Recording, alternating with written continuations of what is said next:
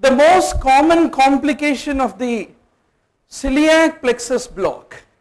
We need to remember that. Why do we block the celiac plexus, doctor? We block the celiac plexus in order to provide a relief for the visceral pain of the malignant disease, especially the pancreatic cancer associated pain, we do that. But what is the most important complication? The most serious complication is paralysis can occur. Whereas the most common, rather most uh, uh, frequently found complication is the hypotension and increased gastrointestinal motility. Patient may go into a state of diarrhea. So that is the most important, uh, most common complication. Where do you find methemoglobinemia? It is the one of the adverse effects of the prilocaine is what need to be remembered.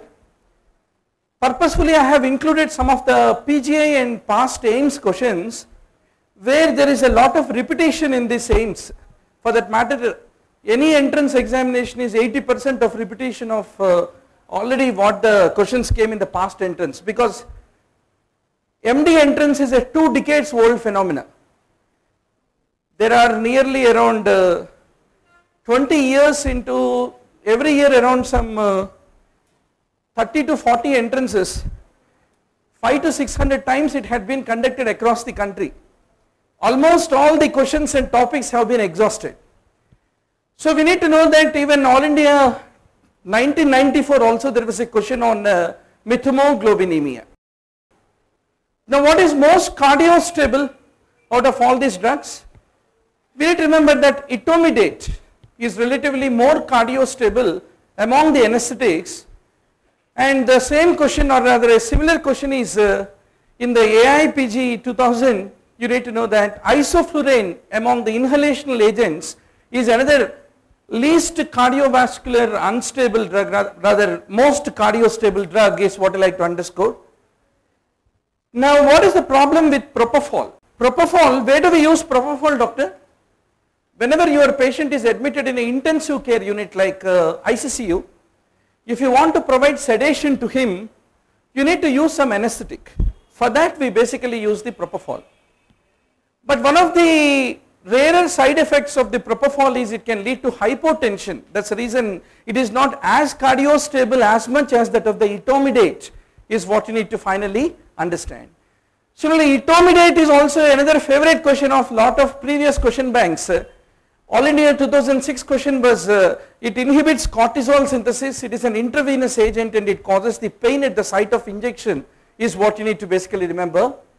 And uh, the adrenal suppression that the etomidate uh, causes is one of the favorite uh, questions of the examiner. Now let us talk about the emergency tracheostomy. Whenever you do, what are the changes in the physiology? Once more, tracheostomy is a favorite question and dead space. What causes increase of dead space? What causes decrease of dead space? In physiology also is a favorite topic of the examiner. So we need to know that whenever we do the tracheostomy, it will lead to an increase of ventilation to perfusion um, ratio is a wrong statement. It basically will cause uh, a decrease of the dead space and uh, it lead to development of uh, a low V by Q is what I like to underscore to all of you. More easier to remember is all high dead space causing conditions lead to high, high v, v by Q value is what I like to um, emphasize. Now let's go to the next question. But before that what were the other questions on tracheostomy? AIIMS may, every AIIMS may will have one tracheostomy event, you must be very sure. So if there is a tracheal stenosis what you will do? What are the various types of tracheostomy tubes that we use? Everything is a favorite uh, area. Now let us go to the questions on anatomy. Sphincter of Oddi has how many sphincters? It's like asking uh, what is that recent movie? Slum Dog Millionaire. So it is a Slum Dog MD seat. So you must be very sure on uh, uh, small small nitty gritty in entrance exam. Now can you justify Dr. why sphincter of Oddi has got 3 sphincters actually? The reason is the sphincter of Oddi is a small complex of the smooth muscles which are surrounding the terminal common bile duct. the main pancreatic duct of Wirsung and the common channel that is the ampulla of Vater. So that is the reason it is a complex of the smooth muscles of the three sphincters is what I like to finally underscore. Deltoid ligament. How many of you have taken the recent state entrance exam? Just for a statistics, most of you are the recent, relatively recent students. I will give you the list of 1200 topics doctor based on 16,000 MCQs of the past 15 years of All India AIIMS and PGI. Every question was labeled which topic it belongs to and pushed into the computer and computer will give back another uh, analysis. Sir, in this topic of myocardial infarction there are 60 questions asked in this 15,000 questions. So from the highest number of questions asked topic towards the lowest number I will give you a list of 1400 topics. Honestly speaking one does not require a coaching program at all. Only thing is you need to know what to read specifically and what to not read more important than what to read. So our job is basically to make you to understand that is only simple thing. If you look at all these questions they are not newly framed questions They are all the age old topics, deltoid ligament is a favorite question regularly asked in the exam. There is no surprise about finding deltoid ligament in AIIMS. So that is the reason our job to face the next entrance let us say in November or in the next May is to quickly become thorough with these 1400 topics, know what are all the issues asked in the exam and then go to the exam and check whether that topic has come or not and attack the question. So that should be the approach for the confident approach for the exam.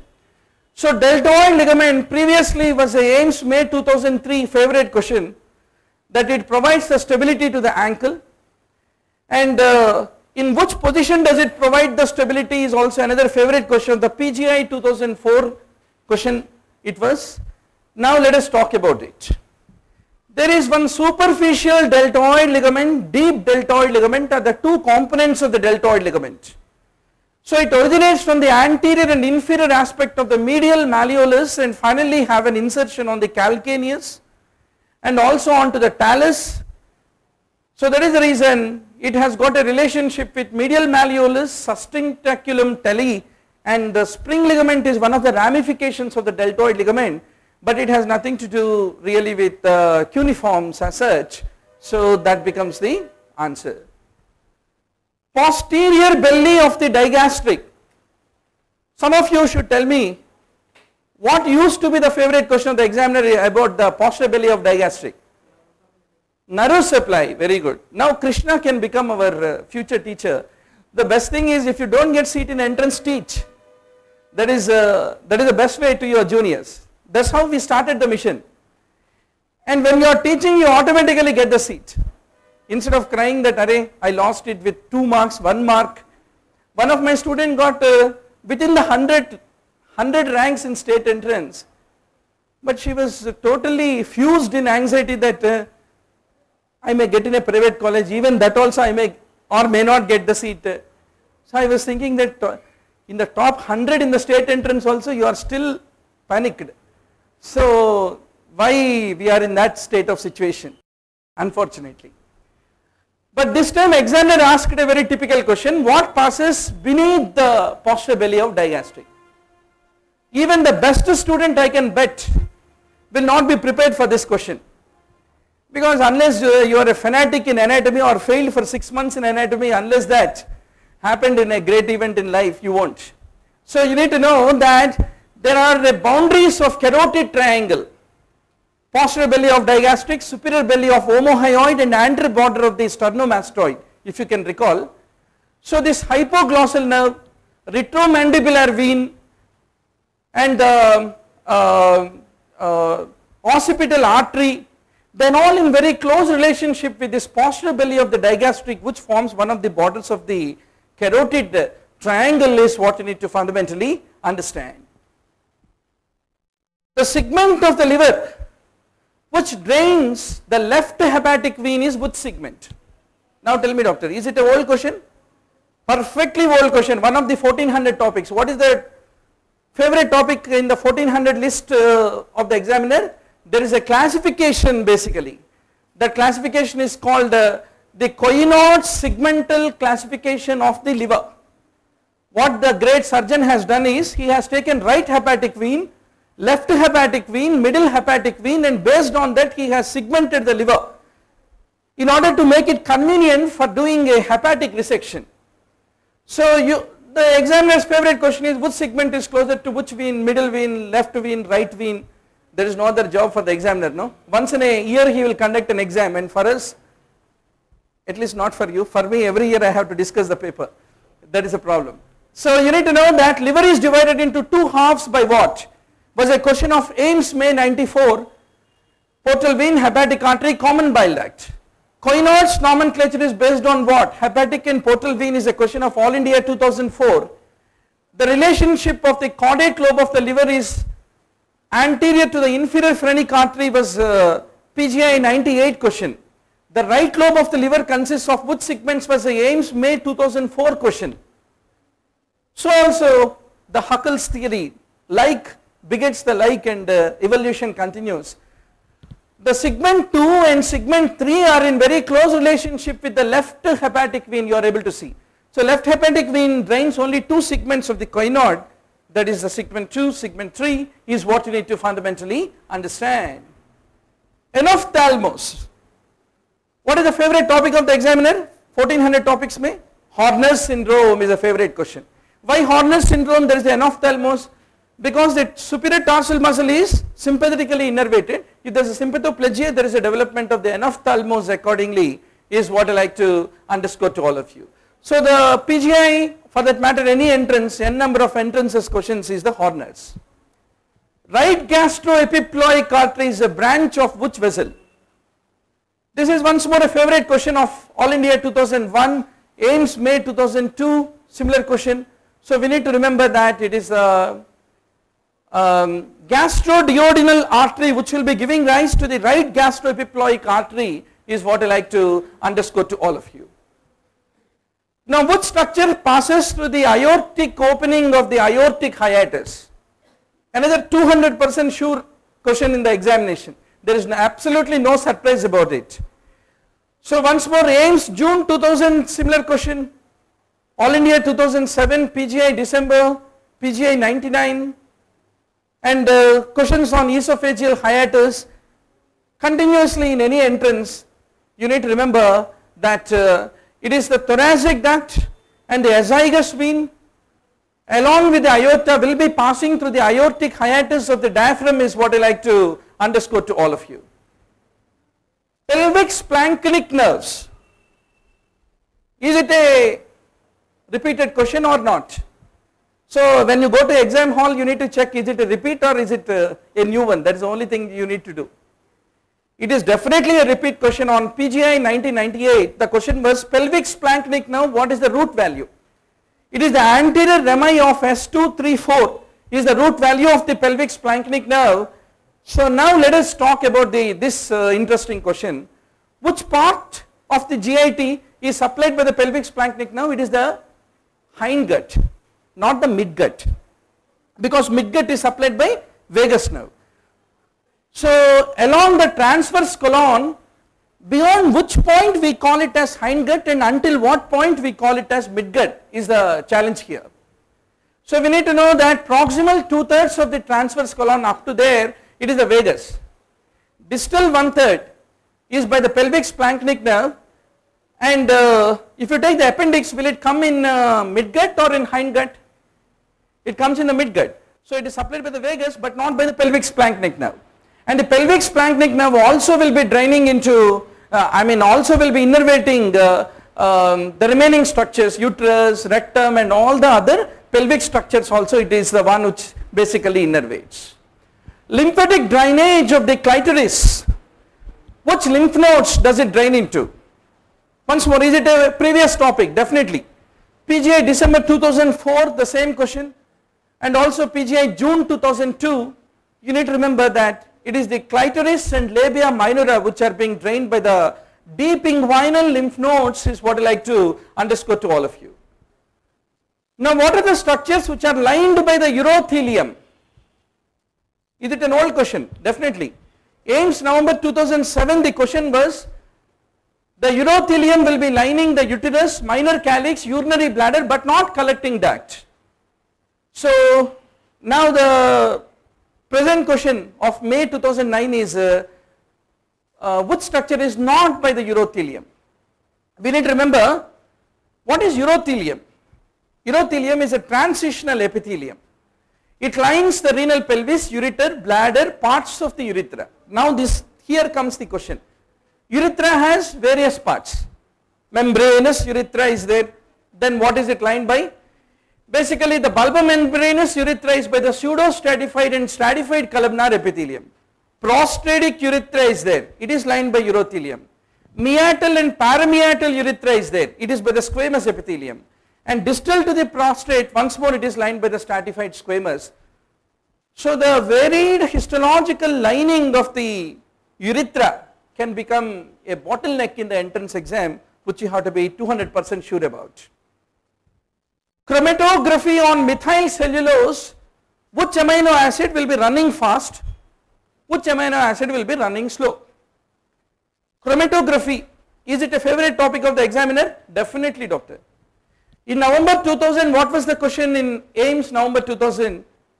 Which is the one which will migrate the slowest? And the answer was lysine. So you thought that every time he will ask slowest? No, this time he wanted to ask what is fastest. Next time what he will ask, which will be walking, which will be jumping on the chromatography paper. So entrance is all Bournvita quiz show is what has to be remembered. So there is something called as RF value that is relative to the front. How fast it migrates is based on the RF value calculation. So if you take the RF value calculation, alanine has a RF value of 0.38 etc etc the various values have been given. If you look and compare all those values it is the lysine um, which will be the slowest and it will be the valine which will be relatively fastest because valine has what is the RF value? It is 0.61 for the lysine it is very low value 0.14 so lysine is slowest valine is fastest in its movement and migration on the chromatography. Nitrous oxide. What is the greatest invention of uh, the 20th century? 21st century? Viagra which is basically nitrous oxide. So how does nitrous oxide form doctor? It is the conversion of the L-arginine by the nitric oxide synthase will lead to the generation of the nitric oxide. So that is the reason it is the L-arginine from which it will be forming. Then the next question was what is the difference between the eukaryotes versus prokaryotes when it comes to the way they multiply their uh, genome. So one of the options was N-formyl methionine tRNA will be the first tRNA to form into action was the question was one of the options. Once more I like to ask you is it a previous question definitely it was the question of all India 2007 paper. So we need to remember the difference between the prokaryotic RNA I mean uh, the translation versus the eukaryotic translation is the prokaryotic translation initially requires N-formyl methionine tRNA which will be donating the N-formyl methionine um, whereas that requirement is not there for the eukaryotes. So that is a fundamental difference and it in fact will help uh, in order to differentiate between the prokaryotes and the eukaryotes. So N-formyl methionine is the proteogenic amino acid found only in bacteria not in eukaryotes and it is the one which will be uh, basically be providing uh, the initiation step. Now uh, thiamine is required for uh, which metabolism? Probably the easiest and simplest question in the entire AIIMS uh, history. Now there are about 70 questions asked on vitamins out of the 15,000 question bank in biochemistry. I mean 15,000 total question bank there are about 1000 questions in biochemistry I will give you the list of that out of the 1000 questions, there are about some 60 questions, 60 to 70 questions only on vitamins. So you are reading biochemistry means you must be very sure on every vitamin. So thiamine is the coenzyme of the pyruvate dehydrogenase and it is an essential part of the carbohydrate metabolism is what you need to basically remember.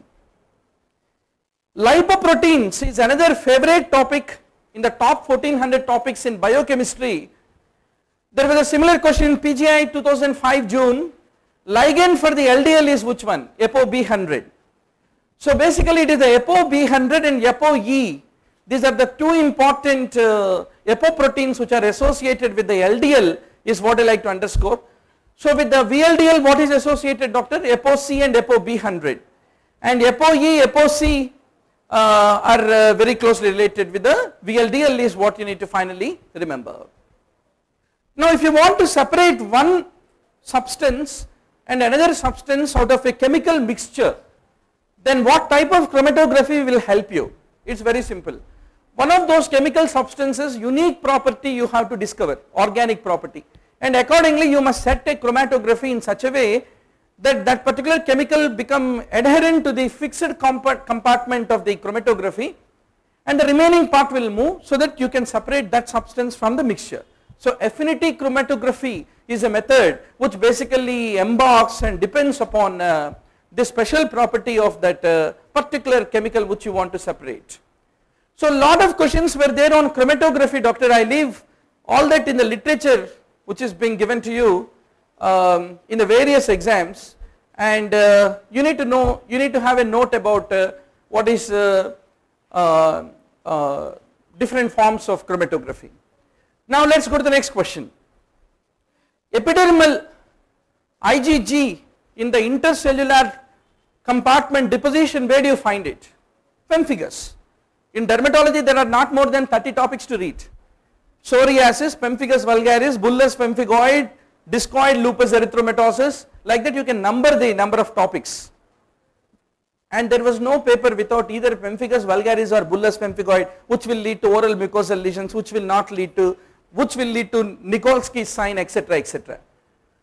So a similar question of PGI 2000 was where do you have antibodies we have in intercellular substance and it is the immunoglobulin G which is depositing in the intercellular areas is very classical in the epidermis in the case of the pemphigus vulgaris is what I like to underscore.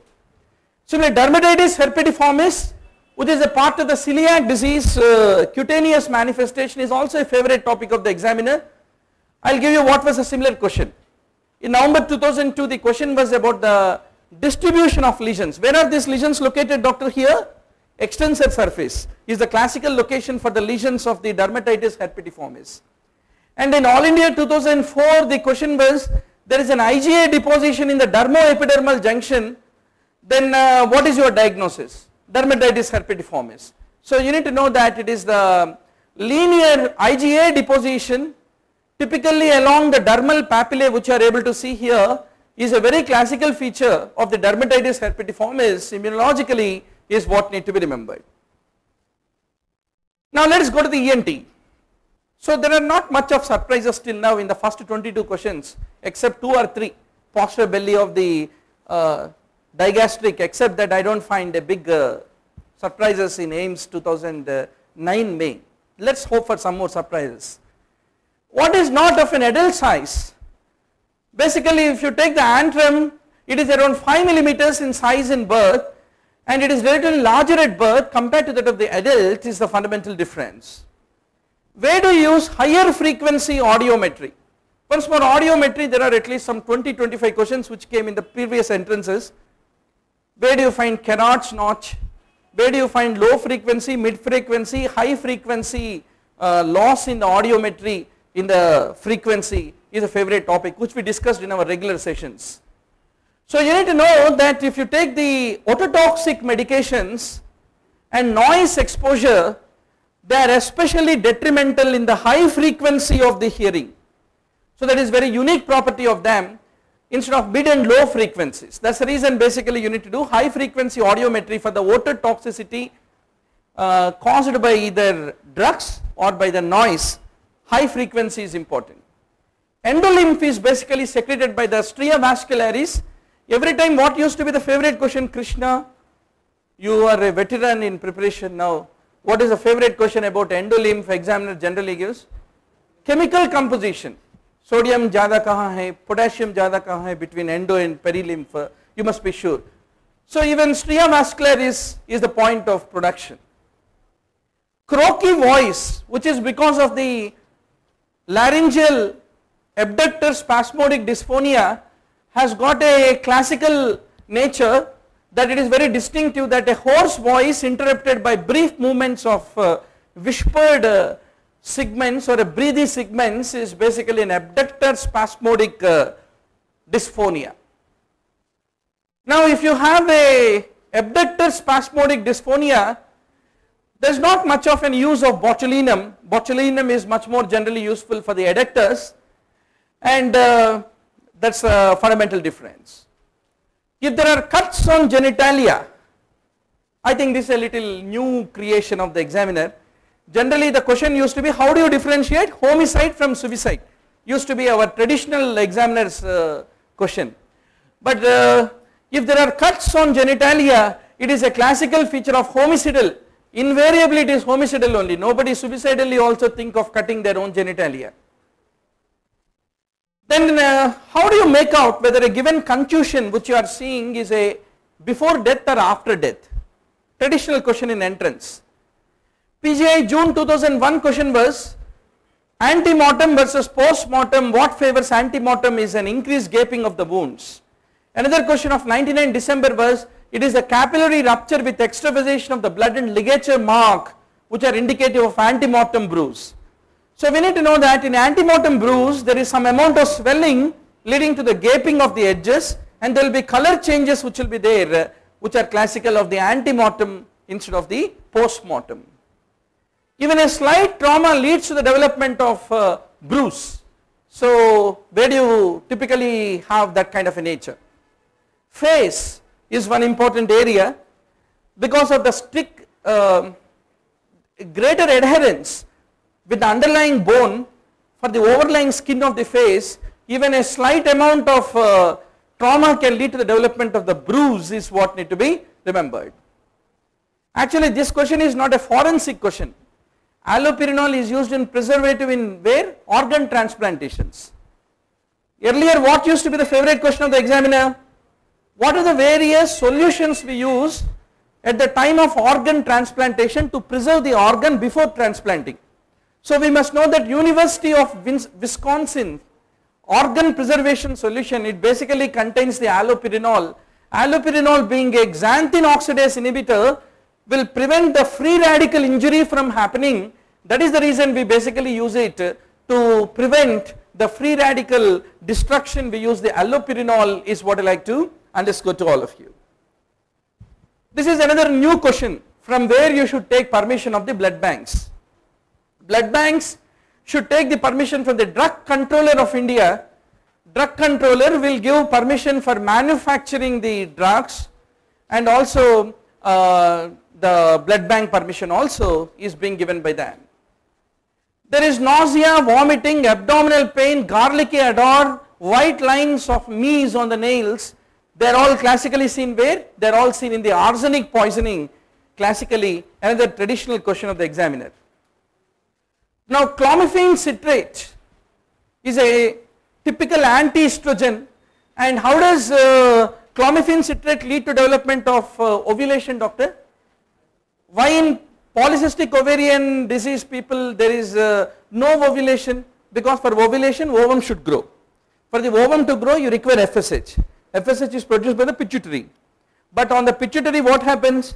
If there is a high estrogen in the body that will go and inhibit the pituitary from producing the FSH. And why there is a high estrogen in the body for uh, PCOD patients? Because they are relatively more obese and that predisposes to increased amount of peripheral aromatization of estrogen and high estrogens are responsible for blocking the pituitary from producing FSH. If there is no FSH, there is no ovum growth. And clomiphene being the anti-estrogen in its property will go and prevent this inhibiting influence of the estrogen on the pituitary and permits the FSH to become released. So that is the main reason that it is uh, anti-estrogen. Once more clomiphene is a favorite topic, there is no surprise in the 1400 topics it is there. You find maximum incidence of multiple gestation and hyperstimulation syndrome with the clomiphene was a May 93 question um, is what I like to underscore. Now Mayer Rokitansky Kushner syndrome is once more a traditional question. What was another uh, twin sister of this syndrome? Testicular feminization syndrome also examiners uh, uh, most sorted out area. Only thing is this time I think there was no question on that. Uh, at least uh, Mullerian agenesis there is a question. So we need to know that 99 we have a similar question absent uterus and vagina is what you see but ovulation is still normal ovary is normal in Rokitansky Küster-Hauser. Then A all India 2001 is once more a question that Küster-Hauser has vaginal atresia. You have a question in June 98 about the same topic. So that completes the story of Rokitansky-Küster. Bacterial vaginosis, a fishy odor of the vaginal discharge. Is it a favorite question? Definitely. Regularly our uh, AIIMS discussion means we used to discuss a lot of theory for every question earlier sessions. But later on I discovered that every time we are only repeating the same theory rather let us be more analytical. What to read, what to not read at least because lot of juniors are there. Our approach for this exam is how to make you to not read rather than make you to read uh, is our approach. Uh, so what pages to turn in the textbook is going to be the theme for 2009 preparation. Hmm? So uh, drug of choice in the case of bacterial vaginosis will be the metronidazole once more a PGI June 2005 AIIMS May 2004 and December 2004 question and uh, what is the ideal contraceptive for the newly married couple? Uh, OCPs you must be doubly sure on uh, which are the specific OCPs used in various scenarios. But if it is a newly married lady and the lady has a rheumatic heart disease can you still give OCP you do not so anytime rheumatic heart disease it is a barrier contraception which is considered to be the most ideal contraception. What is the kind of inheritance of the neurofibromatosis? The next question all of you know that hereditary spherocytosis neurofibromatosis any structural protein disorder, Marfan's, any collagen, collagen disorder or structural protein disorder is all autosomal dominant. Then what are the X-linked recessive you are having? You have uh, Duchenne's muscular dystrophy, hemophilia etc etc. And any rate limiting enzyme deficiencies are all autosomal recessive, they are very severe right from the birth. And you have only a couple of conditions which are X-linked dominant vitamin D resistant rickets, they are all X-linked dominant. So you must be quite sure on the topic of inheritance doctor. Kawasaki used to be a favorite question. Now let me ask our uh, expert committee for uh, question paper setting. What is the favorite question of Kawasaki Krishna? Kawasaki question was, is it a purulent or a non-purulent conjunctivitis which you find in the case of Kawasaki? By rule it should be non-purulent. If at all the conjunctival inflammation is purulent in nature, it cannot be Kawasaki. Another question about Kawasaki was heart attack in a baby because there is a coronary vasculitis which occurs lead to coronary aneurysms in Kawasaki which lead to development of ischemia to the heart and that leads to development of coronary event in a pediatric population because Kawasaki occurs in pediatrics is what need to be remembered. So we give IV immunoglobulin which is considered to be the drug of choice so we discussed in a great detail about Kawasaki already all India 2008 uh, and 2001 etc etc.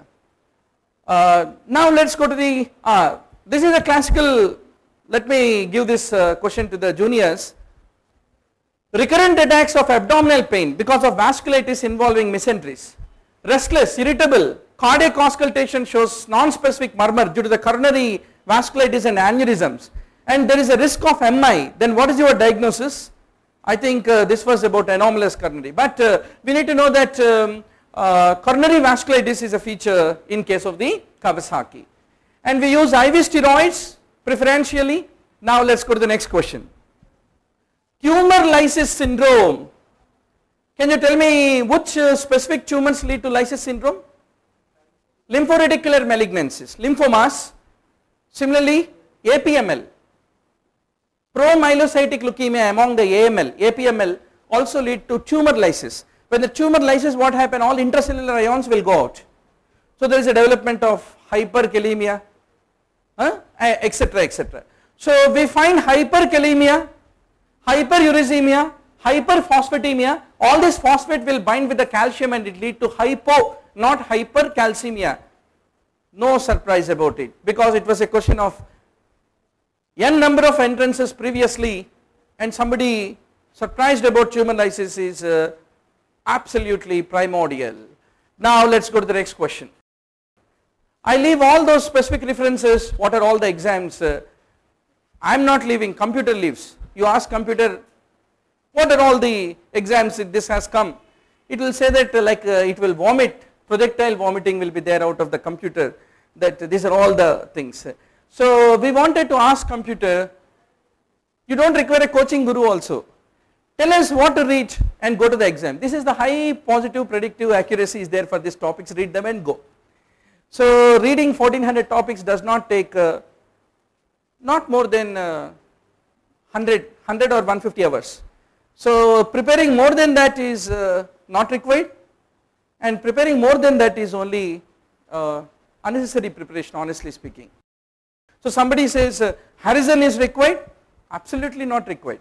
Davidson's grandson, small small part of the Davidson, even total Davidson also is a volume overload. The ventricles will get hydrocephalus. So that is too much for the entrance, uh, limited part of Davidson. Pulmonary embolism means you must say sinus tachycardia is the most frequent, S1Q3T3 is the most characteristic.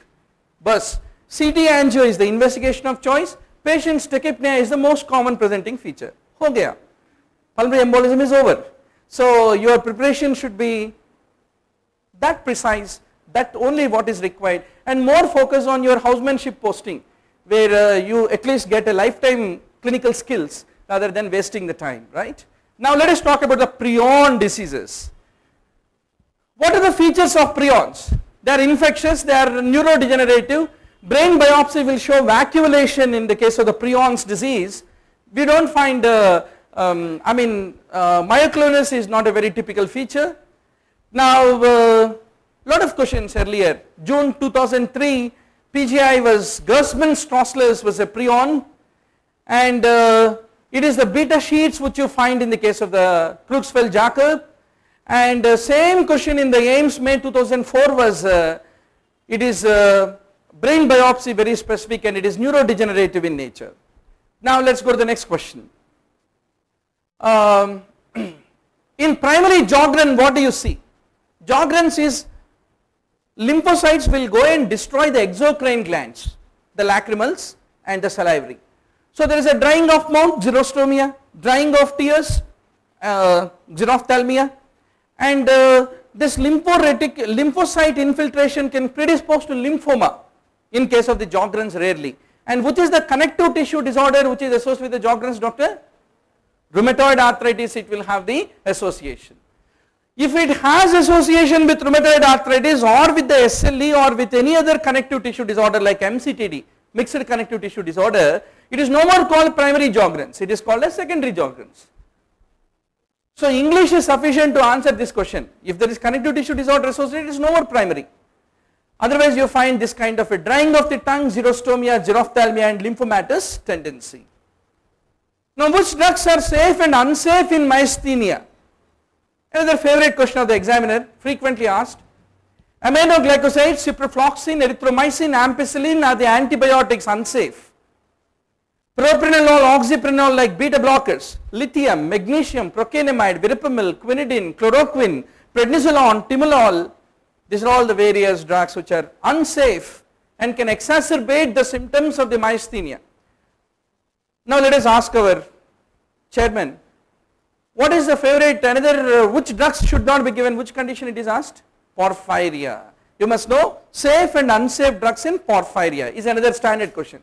So let us book that question for the November 2009 AIIMS. Huh? Eh? Now let us go to the next question. What do you mean by category 4? According to the WHO classification, WHO has given a big classification. The Category 1 means asymptomatic generalized lymphadenopathy. Whereas in stage 2 you have angular cheilitis etc etc. Oral candidiasis is a part of stage 3 not stage 4 and in stage 4 you find esophageal candidiasis but not oral candidiasis. Examiner is naughty guy and he wants to just uh, on a small trifle of oral is found where, esophageal is found where, whether do you have you observed that in that big list or not, you are knocked out. Once more catching the train from Delhi to Hyderabad.